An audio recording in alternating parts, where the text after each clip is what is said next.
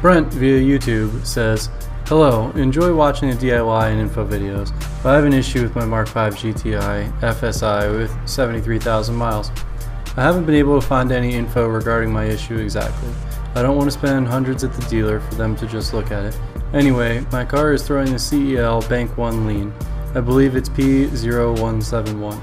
I have had the codes cleared two times now, and after about 200 miles of driving, it comes back on. The car isn't losing power or idling rough. I'm not sure what my issue could be, and I was hoping you could narrow it down. I appreciate the help in advance. Thanks. Okay, Brent. So any lean fault in a system, uh, especially on more current model cars, is almost exclusively related to vacuum leaks.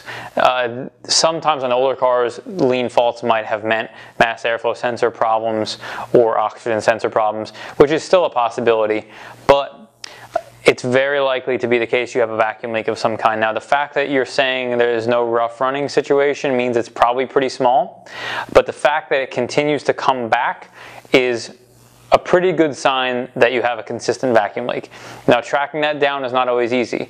One common place that FSIs leak is there is a uh, vacuum hose that runs back towards the brake booster. It actually goes through the coolant flange on the side of the head. It's on the driver's side of the engine. We actually have a DIY that will link up uh, right here and that DIY shows you how to replace that hose. Now that is a common place uh, that there's vacuum leaks because there's a nipple that uh, breaks and there's also hard pipes that are plastic that get brittle and crack over time. So that's probably where you want to start. Now once you get past that point, uh, you're really going to have to probably have to pay somebody to diagnose it. It's going to require smoke testing the system to verify uh, that there is or verify where the vacuum leak is if you indeed have one, which is essentially when you're paying the, them to diagnose your car, you're not paying them to plug in and scan your car. You're paying for them to actually diagnose the problem and track down what's going on. So, you know, there's we love to help people, but uh, we can't only do so much. We're going to give you top line advice based on our experience.